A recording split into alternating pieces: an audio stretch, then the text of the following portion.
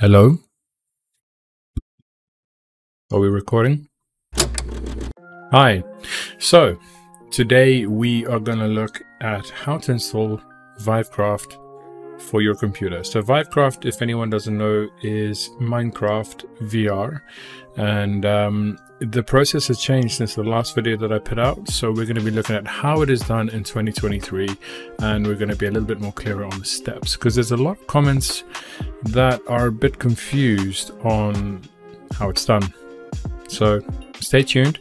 And very soon we'll be playing some Minecraft VR. Oh, what the hell? It spawned me in a tree. That's not good. Ow. Okay. Let's get some wood. Before we start any of this, I'd just like to say it would help a lot if you started with a fresh installation of Minecraft Java and you did not have any mods because they are likely to mess around with this installation process. So start fresh. So let's head over to the guide, shall we? Now, the first thing you're going to want to do is head over to vivecraft.org and then you're going to want to go to the download section. Make sure you pay attention to the requirements. So first and foremost, you're going to need Steam and you're going to need Java. Here you can click the latest Java install. So if I were to click this right now, it would take me to the Java website and I could download Java. Obviously Java is required to run the Java version of Minecraft. You also will require Steam and you're going to need Steam VR installed. So click this button, head over to Steam, but I'm sure that if you guys have a VR headset and a PC, it's very likely you've already got Steam and Steam VR installed. But regardless, make sure these two processes are taken care of. And just to show you guys who might be confused, if you look at your Steam store page, this is what you're looking for. It's free. And this is what will connect your headset to Steam and to Steam games. Now you've installed Java and you've installed Steam and you've installed Steam VR, we're going to go back to Vivecraft and we're going to actually download Vivecraft itself. Scroll down the page and you will see the versions that you can download. I would recommend that you download the latest version, that's 19.2. So click on 19.2 and scroll all the way down and you will see the downloads. Now, make sure you do not download the top one. You want the VR version. The top one is non-VR.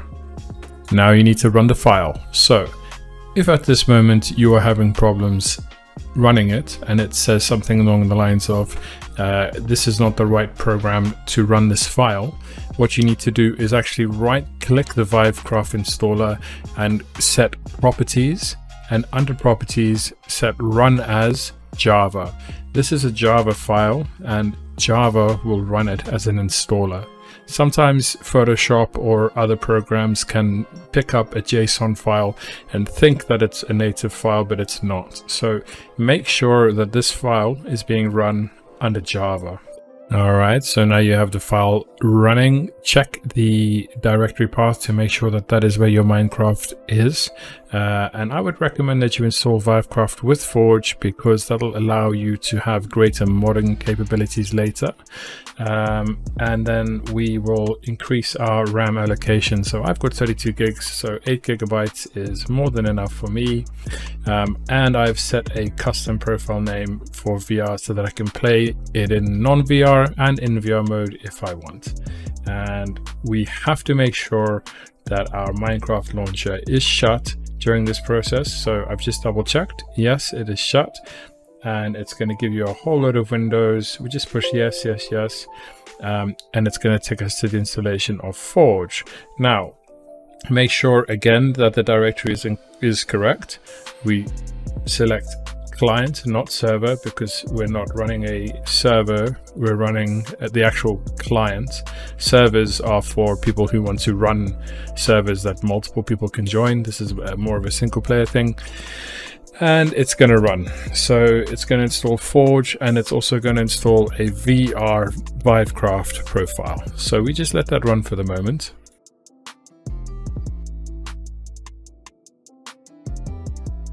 And that is it installed. It'll tell you to restart your Minecraft and to select Vivecraft Forge 1.19.2 VR, which is the profile which we set up.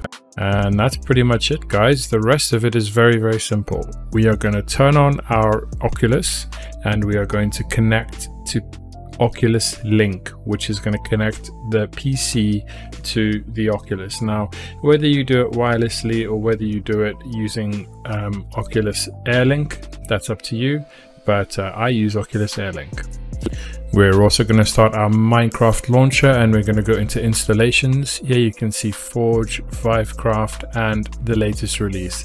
Now the latest release will just play normal Minecraft on your desktop, but the Vivecraft Forge VR version profile that you can see there is the one that we have just installed. So once you are connected to AirLink and you are in that white screen, uh, push launch and it will start to load up. It's going to give you a little notice saying it doesn't recognize the software, but that's fine. Just keep going. And there we are, guys. We are now playing Minecraft VR. Woohoo! So, you can actually uh, have a look at some of your uh, old games if you want, but uh, I'm going to create a new one and uh, jump right in. So, that's it. Everything is there. I hope you guys enjoyed it. If you have any questions, please ask in the comment section.